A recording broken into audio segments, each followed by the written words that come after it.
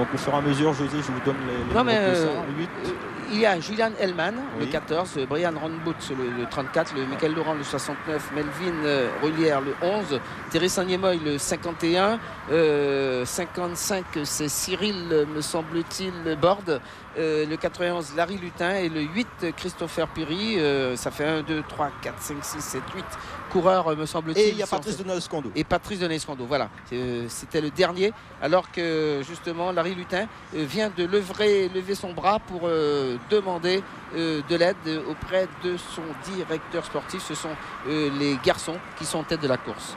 Tout à fait.